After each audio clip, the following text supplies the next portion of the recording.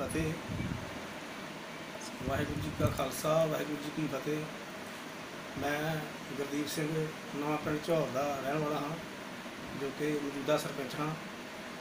ਮੈਂ ਆਪ ਸਭ ਨੂੰ, ਦੇਸ਼ ਵਾਸੀਆਂ ਨੂੰ ਵਿਸਾਖੀ ਦੇ ਮੇਲੇ ਤੇ ਲੱਖ ਲੱਖ ਵਧਾਈ ਦਿੰਦਾ ਹਾਂ। ਕਿ ਇਹ ਵਿਸਾਖੀ ਦਾ ਮੇਲਾ ਸੁਭ ਜੋ ਸਾਡੇ ਗੁਰੂ ਸਾਹਿਬ ਦਸਵੇਂ ਪਾਤਸ਼ਾਹ ਨੇ ਖਾਲਸੇ ਦੀ ਸਾਜਨਾ ਕੀਤੀ ਸੀ। ਇਸ ਨਾਂ ਤੇ ਜਾਣਿਆ ਜਾਂਦਾ, ਪਹਿਚਾਣਿਆ ਜਾਂਦਾ ਸਾਡੇ ਪੰਜਾਬੀਆਂ ਨੂੰ। ਜੋ ਕਣਕ ਦੀ ਵਾਢੀ ਆਉਂਦੀ ਆ, ਮੇਰੇ ਕਿਸਾਨ ਵੀਰ, ਮੇਰੇ ਕਿਸਾਨ ਭਰਾਵਾਂ ਨੂੰ ਇਸ ਮੇਲੇ ਦੀਆਂ ਰੌਣਕਾਂ ਢੋਲ ਵਜਾਉਂਦੇ ਨੇ, ਰੱਜ ਕੇ ਭੰਗੜੇ ਪਾਉਂਦੇ ਨੇ, ਖੁਸ਼ੀ ਮਨਾਉਂਦੇ ਨੇ। ਤੇ ਮੈਂ ਇਸ ਕਰਕੇ ਸਾਰੇ ਨੌਜਵਾਨਾਂ ਨੂੰ ਬੇਨਤੀ ਕਰਦਾ ਕਿ ਨਸ਼ਿਆਂ ਨੂੰ ਤਿਆਗੋ ਤੇ ਆਪਣੀਆਂ ਖੇਡਾਂ ਵੱਲ ਖਿਆਲ ਕਰੋ। ਆਪਣੇ ਹਲਕਾ ਵਿਧਾਇਕ ਦੀ ਵੀ ਮੈਂ ਬਹੁਤ ਬਹੁਤ ਧੰਨਵਾਦ ਕਰਦਾ।